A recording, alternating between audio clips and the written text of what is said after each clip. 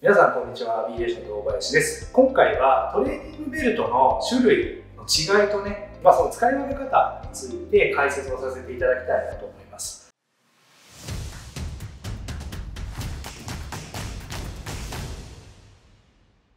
以前出した動画で、まあ、おすすめのねトレーニングアイテムとしてトレーニングベルトを紹介させていただきましたけども実はこのトレーニングベルトにも非常にいろんな種類があってどれを使うのがいいのか迷う方いらっしゃると思うんですね。特にトレーニングを始めたばっかりの方なんかはどれが本当に自分に合ってるのかどういうものを買ったらいいのか迷う方もいらっしゃるかと思うので今回はねそのそれぞれのねベルトの種類とその特徴について触れながらこういう人にはこういうベルトがおすすめですよということでね解説をさせていただければと思いますベルトの違いなんですけども大きく分けてね2つですね素材と厚みまあ、大きく分けてこの2つの違いがあります。まあ、他にもね、いろんな細かい違いはあるんですけども、まずはこのね、素材と厚みというね、2つの違いを把握していただければ、まずね、ご自身に合ったベルト選びに近づくかなと思います。で、えー、一つ目は、えー、ナイロンのベルトですね。ちょっとごめんなさい。今ね、手元に実物がなくてですね、私、革のベルトしか持ってなくて、周りのスタッフもですね、結構ガチでトレーニングやってるものばっかりで、革のベルトしか手に入らなかったので、またなんか写真とかで出しといてもらえると思うんですけども、ナイロンのベルトは文字の通り布製のベルトで、え、ベルクロですね、マジックテープで留める式のベルトになってます。で、もう一つが、革のベルトですね。本革のベルトになってます。で、まあ、この素材の違いによって、機能の、ね、違いが出てくるかっていうところなんですけども、まずナイロンのベルトは、まず比較的安価なものが多いです。値段帯でいくと大体2000円ぐらいのものから高いものだと8000円ぐらい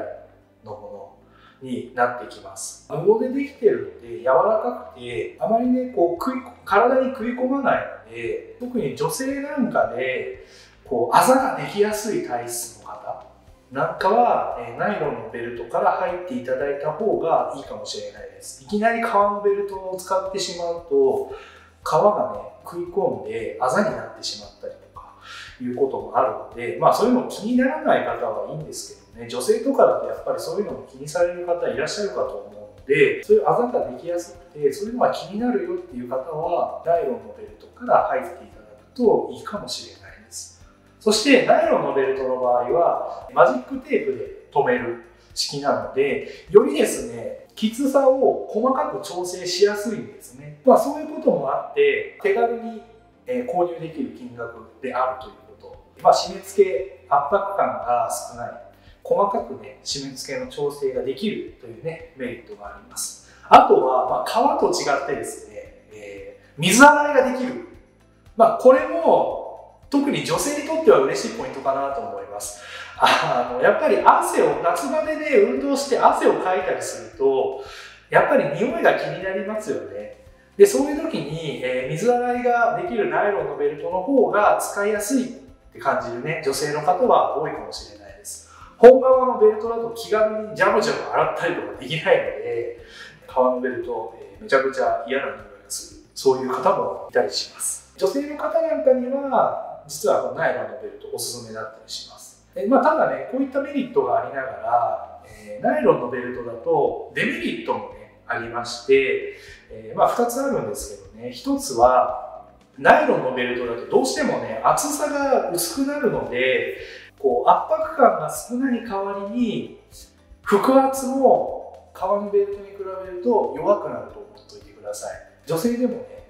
えー、高重量のスクワットとかデッドリフトにもうガンガン挑戦していきたいとか、将来パワーリフティングに挑戦してみたいとか、そういう思いを持ってらっしゃる方は、ナイロンベルトはちょっと向かないかもしれないですね。最初のまあ入門点としてはいいかもしれないですけど、ゆくゆくは革のベルトを購入することになると思うので、え最初から思い切って革のベルトを買う。そういうのもいいかもしれないです。そして2つ目なんですけども、革のベルトに比べてですね、早く壊れます。ナイロンがね、ベルトの部分がブチってちぎれるなんてことはないんですけども、このマジックテープの部分がね、弱くなってくるんですよ。で、なかなかね、こう、止まってくれなくなってくるんですね。で、特に、その水洗いぐらいだったらまだいいんですけど、この手洗いするのが面倒だからってこう洗濯機に入れて洗ったりするとどんどんマジックテープの部分が弱くなっていってしまうのでまあやっぱり革のベルトに比べるとどうしても弱くなりやすい買い替えの時期が早くなってきてしまうというのは覚えておいていただけるといいかもしれない。革のベルトは、まあ、メリットとしてはですねまず何といっても頑丈ですマジックテープで留める式ではなくて、まあ、ピンとかレバーでガチッと留める式になってますので、えー、まずその留める部分が壊れるっていうことはまずないです。よっぽど変な使い方をしない限りは、まあ5年は絶対持ちますね。もう私、ベルト買って6年ぐらいになりますけども、もうビクともしないです。もう壊れる気配一切ありません。多分このまま使い続けても30年ぐらいは余裕で持つんじゃないかなと思います。それぐらい頑丈に作られている革のベルトっていうのは丈夫なんですね。持ちますね。はい。2つ目のメリットなんですけども、えー、やっぱり腹圧がかけやすいより強い腹圧をかけることができるというのもあります。まあこれは、え、ベルトの厚みにもよるんですけどもやっぱりナイロンのベルトに比べると革のベルトの方が厚くできてますのでより強い腹圧をかけることができるので高重量のスクワットとかデッドリフトに挑戦したいという方とかね、トレーニングやるかには革のベルトの方がおすすめなんじゃないかなと思います。で、まあ逆にデメリットとしては、まあ先ほどね、言いましたけども、水洗いができないということで、まあやっぱり衛生面が気になる方にはちょっと、えー、厳しいものがあるということと、ナイロンのベルトに比べて、やっぱりどうしても値段帯がちょっと高めになるというのはあります。まあベルトの種類にもよるんですけどね、例えばこうちょっとね厚さが薄くてこう幅もね狭めに作られてるようなこういうベルトだと、まあ、入門編にできてるので、えー、まあ、3000円ぐらいのものから高いものでまあ8000円ぐらいかなというぐらいの、まあ、ナイロンベルトとあんまり変わらないぐらいの値段で買えちゃったりしますただごっついベルトですね、えー、もう筋トレガチ勢が使うようなもうものすごい分厚くてですね、で、幅もすごい広い。まあ、これ多分幅10センチだと思うんですけどね。こういうベルトになってくると、安いもので8000円、7000円ぐらい。で、高いもの、どの業界でもやっぱりブランドものってあったりするんですけども、そういうね、え一流センスが使ってるような、そういうね、えいいブランドものになってくると、2万円、3万円とかね、もっと特注しようとすると、まあ、5万円、6万円とかね、いってしまうような、え、ものもあるので、え、例えば、思い切って通販でね、高いこういう革のベルトを買ったらサイズが合わなかったとかね、えー、そういうことになったりすると悲惨な、ね、面にあったりするので、そういう意味では、この値段っていう面がネックになる方もいらっしゃるかとは思います。まあ、ただ、先ほども申し上げましたけども、もう簡単には壊れないです。これだけ頑丈にできてれば、もう簡単には壊れないので、よっぽど変な使い方をしない限りは、1回購入すれば、10年、20年は絶対に使えるようなものなので、それだけね、長いこと使うことを考えれば、高くてもある程度いいものとか、自分に合いそうなものっていうのを買って使い込んでいただくっていうのは、えー、おすすめではあります。まあ、そしてですね、えー、まあ、3つ目のデメリットとしてはやっぱり革のベルトの方が圧が強くて腹圧を強くかけれるということでそれだけ圧迫による不快感も強くなります。ダイロのねベルトの時にも申し上げましたけどもやっぱりあざが、できてしまう。でもあざまでいかないけど終わった直後ねベルト外してみたらこの辺ねつけた跡ができてしまう。赤いね跡ができてしまったりとか私2回やってますけどもひどい場合は、締め付けが強すぎて肋骨を疲労骨折してしまったりとかですね、え、そういう場合も出てきたりします。そこまで、ね、強く締め付けるのは本当は良くないんですけどもそれだけね、まあ、締め付けが強くなってしまってあざもね残りやすかったりするので、え、あざが気になる女性とかねそういう方はこういうねごついベルトを使うんであれば、こうベルトの間にタオルを挟んでしていただくと、えー、いいんじゃないかなと思います。そして、まあ、革のベルトの中でもですね、やっぱりちょっと形に違いがあったりします。一目瞭然だと思うんですけども、こっちがね、パワーリフティングに出るような人が使う用の一番ごついベルトなんですけども、幅が均一ですよね。もうどこの部分も10センチの厚みがあるんですけども、一方ですね、こちらのベルトの場合は、ちょうどお腹に来る部分が狭くなっていることで、よりこう圧迫感が少なくなるようにデザインされています。その分、腹圧は弱くなるんですけども、こちらのごついベルトだと圧迫感が強すぎて、ちょっとな嫌だなっていう方は、こっちの形のベルトを選んでいただくと、トレーニングはやりやすくなる。